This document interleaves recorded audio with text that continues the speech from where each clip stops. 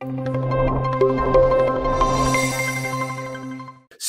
Cindy and Lois, I, I, wanted to ask you a little bit about, you know, a lot of people hear a, uh, kind of this story and they're like, man, you've, I, I, see how you've made the transition over to the paper side of the business, right? The note side of the business. Mm-hmm. Um, and you've obviously had tremendous success.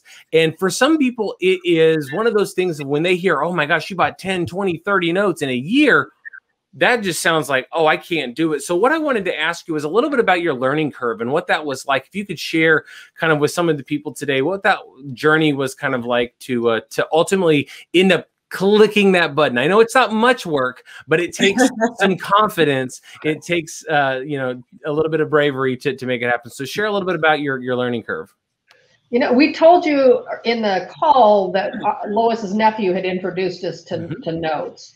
Right. It wasn't in the it wasn't in January. It was prior to that. So right. we started doing some a general research on notes and note school. And so we had done some preliminary work before we actually showed up in a class. So we didn't because we neither one of us like to walk in just completely with blank slate of information. So we we did some preliminary research.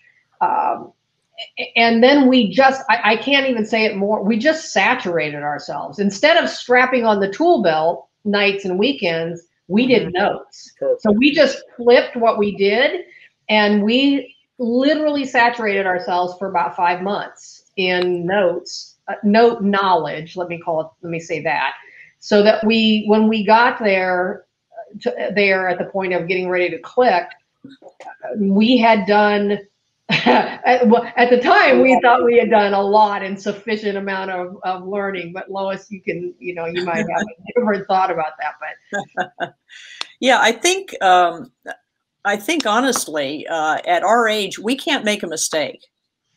So we wanted to make sure that if we were putting money in something that it was what we thought was going to happen that we were going to be able to make money and that it was going to be secure I mean, very honestly, I think that's something that people need to know because there can be a lot of um, real estate uh, experts out there that can, uh, you know, take your money or, uh, you know, and scam you, honestly. And so we wanted to make sure that um, that we researched the entire uh, Notes School, Notes Direct, uh, Eddie, we looked Eddie up and, and because it, was important for us. We didn't have time to make a huge mistake at uh, you know mid 60s and recover.